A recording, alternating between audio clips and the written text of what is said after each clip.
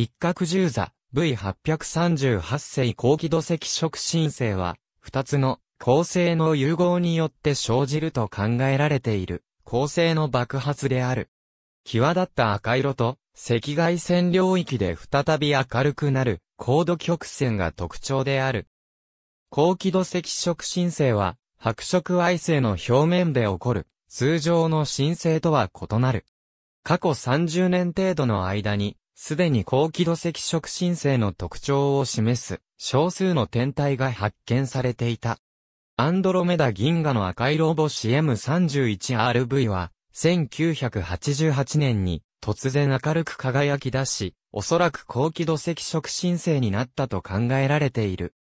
1994年には、銀河系内に歩いて、ザ V4332 星、2002年には、一角十座、V838 星が同様に突然輝き出し、詳しく研究された。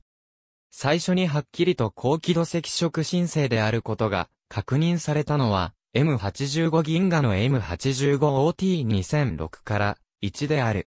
この天体は陸天問題の超新星探査で発見され、カリフォルニア大学バークレー校とカリフォルニア工科大学の天文学者によって研究された。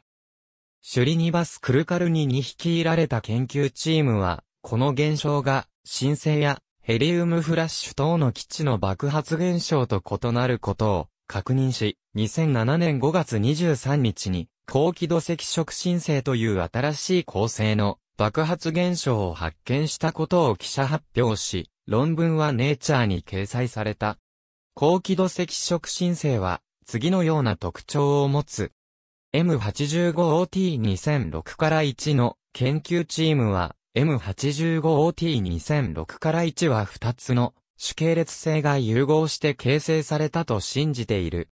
恒星の融合爆発が起こった際には、高気度赤色新星はわずか1ヶ月で太陽半径の数千倍から数万倍に達するほど非常に早く広がる。このため、天体は冷え、明るい閃光と冷たい天体が共存するような興味深い状況が生じる。観測例が限られているため、天体の爆発の新しい分類を設けるのは、時期尚早とする研究者もおり、この現象は、2P 型の超新星爆発で、説明可能とする説、昇光の速い超新星爆発は、自然と赤く、高度が小さくなるとする説など、一説も出されている。ありがとうございます。